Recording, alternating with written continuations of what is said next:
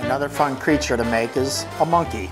Take a little bit more of your clay, round it up to create the head, and then you might want to pinch it just a little bit to create the nose portion in the front where his mouth will be.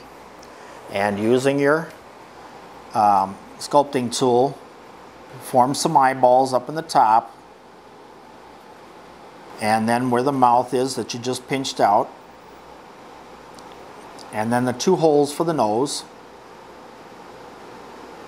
and the head is now pretty well ready for the rest of the body.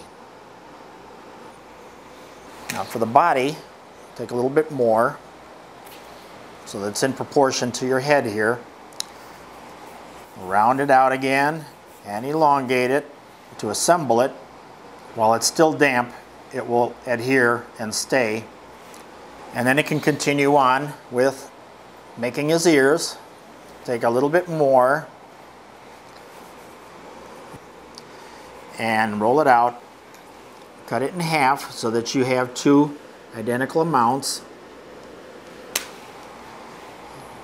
And round them out again. Now what you want to do is pinch them a little bit to create a bit, of a, a bit of a pocket. You've got the end of your sculpting tool, create the bit of a pocket and attach it to the head. And using your sculpting tool, you can pinch it right against it. Okay, we're going to make the arms and legs next, so we'll take a little bit of the dough and roll it out. And cut them equally, right down through the middle. These will be the legs. Flatten it out a little bit at the end to create the foot. In this case, we'll make the toes in here. And the same with the other one.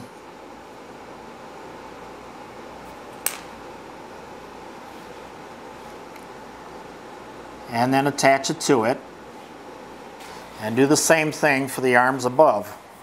You attach one on there at the shoulder and then of course attach it to the side there.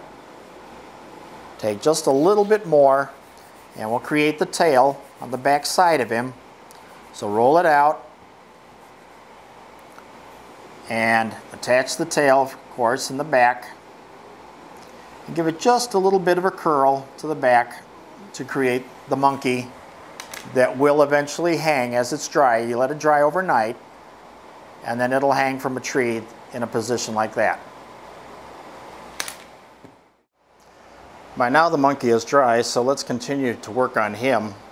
We've already got the first portion painted as the face and the belly and the hands and paws. Uh, now what we're going to do is continue to finish painting him and putting the fur on at the same time. Now we're going to use a brown Put the paint wherever you want the fur to stick. Now you take the fur and just dab it onto it like this. And wherever you do that, it will stick and dry that way. As you can see, the monkey now has hair on his head and the back portions of his ear.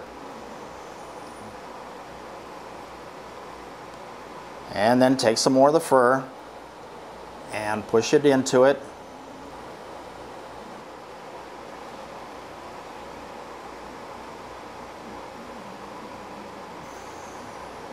And as you can see, the monkey is now finished. And this can be used for many other things as well. I mean, larger monkeys, of course, gorillas. Uh, you might have some kind of a furry dog that you make or, or, you know, whatever your mind comes up with. So have fun with it.